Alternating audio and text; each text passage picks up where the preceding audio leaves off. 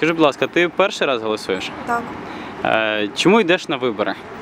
бо хочу зробити правильний вибір, який змінить долю е, Житомира.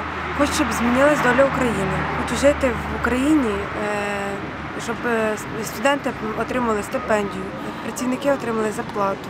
Ну, тобто все було дуже добре. Скажіть, будь ласка, а чому ви пішли на вибори? Для того, щоб проголосувати, можливо, змінити щось в, нашій, в нашому суспільстві, в нашій державі, але ми тільки що прийшли і нам е, один з спостерігачів сказав, що досить мала кількість е, людей да, молоді прийшла голосувати.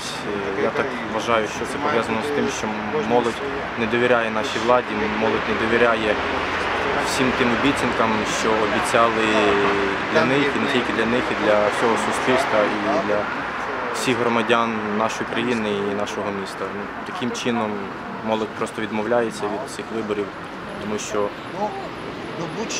я думаю, що вона вже втомилася чекати ці обіцянки, да, що влада кормить цими завтраками, що все буде, все буде, все буде. Ну можливо, те, щоб просто Не був використаний да, да, мій, мій вибір і мій голос не був дарма використаний. І в певних якихось може поганих цілях, махінаціях, да, тому що можна очікувати будь-чого і будь-що від, від всіх. Як вам нова схема бюлетнів, як розібралися?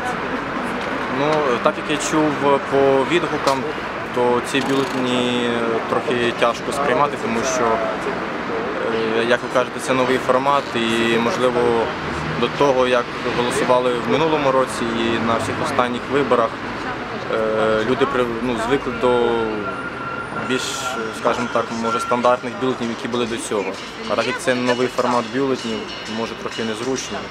І Просто треба все прочитати, перш ніж зробити вибір поставити якусь галочку чи Так, дуже велика, дуже велика кількість інформації, чотири бюлетні, і на це все треба час.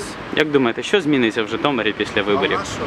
Я думаю, що все буде краще, що ми до цього йдемо, ми прагнемо найкращих змін в Житомирі і не тільки в Житомирі. Ми оптимісти. Да, ми оптимісти, і я думаю, що тільки молодь, наша молодь зможе змінити місто.